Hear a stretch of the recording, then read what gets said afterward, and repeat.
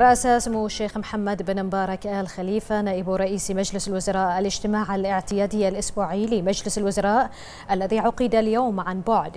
وفي بداية الاجتماع أشاد مجلس الوزراء بالتوجيه الملكي السامي من حضرة صاحب الجلالة الملك حمد بن عيسى آل خليفة عاهل البلاد المفدى حفظه الله ورعاه بمباشرة العمل على تطعيم المواطنين البحرينيين المقيمين في الخارج ضد فيروس كورونا ممن لم يتمكنوا من الحصول على التطعيم التطعيم والذي يأتي في إطار اهتمام جلالته حفظه الله ورعاه بأبناء البحرين وضمان حصولهم على أفضل الرعاية والخدمات في الداخل والخارج.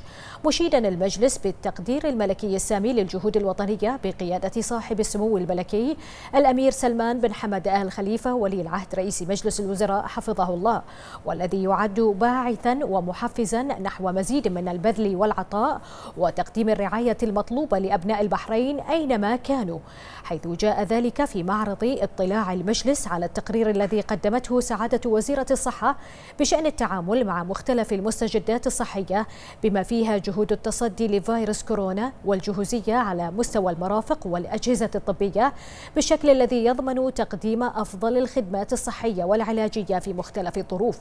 وقد كلف المجلس وزارتي الصحة والخارجية بالتنسيق مع الدول التي يقيم فيها المواطنون بالخارج والحصول على الموافقة اللازمة منها بحسب أنظمتها لاتخاذ الإجراءات الكفيلة بوضع التوجيهات السامية موضع التنفيذ. ثم نوه المجلس بالروح المسؤولة والاستجابة العالية التي أبداها الجميع مع القرارات التي أعلن عنها الفريق الوطني الطبي للتصدي لفيروس كورونا كوفيد 19 وما تحقق من نتائج طيبة على صعيد الحد من انتشار فيروس كورونا وتسطيح منحنى الحالات القائمة. الأمر الذي يتطلب معه مزيدا من الالتزام لتحقيق النتائج المرجوة.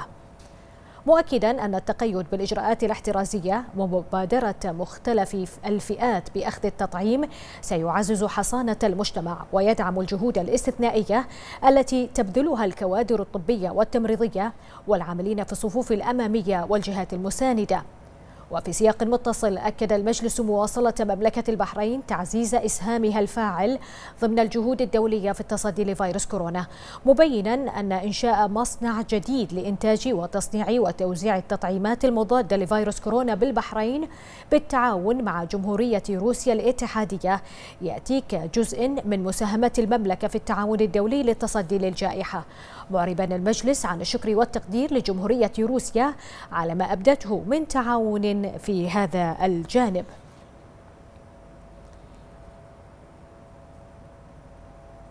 ثم نظر المجلس في الموضوعات المدرجة على جدول أعماله حيث استعرض الموضوعات التالية. أولا مذكرة اللجنة الوزارية للشؤون القانونية والتشريعية بخصوص مشروع قانون بالموافقة على انضمام مملكة البحرين إلى اتفاقية الأمم المتحدة بشأن اتفاقية التسوية الدولية المنبثقة عن الوساطة. ثانيا مذكرة اللجنة الوزارية للشؤون القانونية والتشريعية بشأن مشروع قرار لتنظيم التعامل مع بعض القضايا ذات الأبعاد المالية التي يشترك فيها أطراف خارج النطاق المحلي بما يتماشى مع الاتفاقيات الدولية التي وقعتها مملكة البحرين في هذا الجانب. ثالثا مذكرة سعادة وزير شؤون الكهرباء والماء بشأن المشاريع والبرامج التي تنفذها هيئة الكهرباء والماء ضمن برنامج الحكومة 2019-2022 والتي أظهرت تنفيذ 78% من هذه المشاريع. كما تضمنت المذكرة خطط الهيئة ومشاريعها المستقبلية ومنها المرحلة الثانية من محطة الدور لإنتاج الكهرباء والماء والتي ستلبي متطلبات المملكة من الطاقة. للمشاريع الإسكانية والتنموية والاستثمارية حتى عام 2027 بالإضافة إلى ستة مشاريع لإنشاء محطات لتوليد الكهرباء وأربعة مشاريع لإنشاء شبكة نقل كهرباء وتطوير شبكات نقل الكهرباء والمياه. واستعرضت المذكرة كذلك ما تم بشأن نظام الفوترة الجديد للهيئة والذي تم الشروع فيه في ديسمبر 2020 واستعدادات الهيئة لفصل الصيف الذي يزداد فيه الطلب على الطاقة. بعدها وافق المجلس على المذكرات التالية. أولا مذكرة اللجنة الوزارية للشؤون المالية والاقتصادية والتوازن المالي بشأن مساهمة مملكة البحرين في عدد من المنظمات الدولية بما يدعم خبرات المملكة ويعززها في مختلف المجالات ومنها دعم الاستراتيجيات البيئية وتطوير البرامج التدريبية.